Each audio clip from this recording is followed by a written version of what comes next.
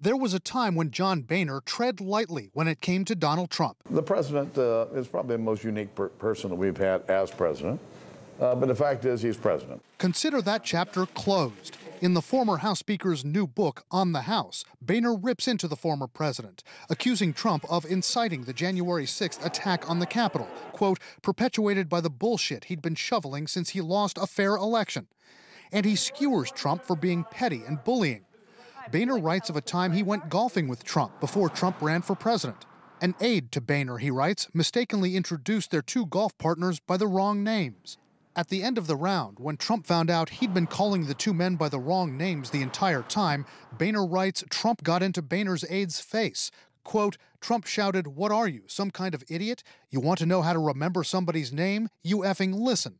That example of the golf outing really shows the contrast between the two men in terms, at least, of temperament. President Trump was mercurial, uh, undisciplined, immature, self centered. A Trump spokesman responded to Boehner's accounts by calling Boehner a quote, swamp creature, and suggested Boehner's criticism was motivated by his business ties to China.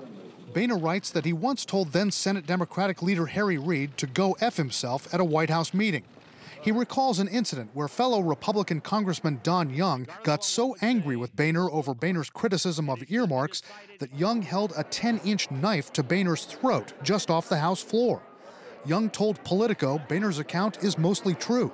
In the book excerpts, John Boehner shows a particular detestation of Texas Republican Senator Ted Cruz, who Boehner had already spoken derisively about for years. Lucifer in the flesh.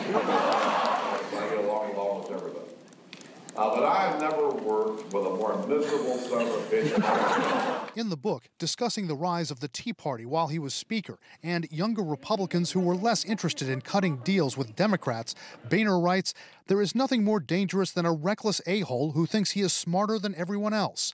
Ladies and gentlemen, meet Senator Ted Cruz. What he detested about Senator Cruz was this dramatic, uh, histrionic style that wasn't about legislating, but about scoring points in the media. And eventually, that is what led Boehner to move away.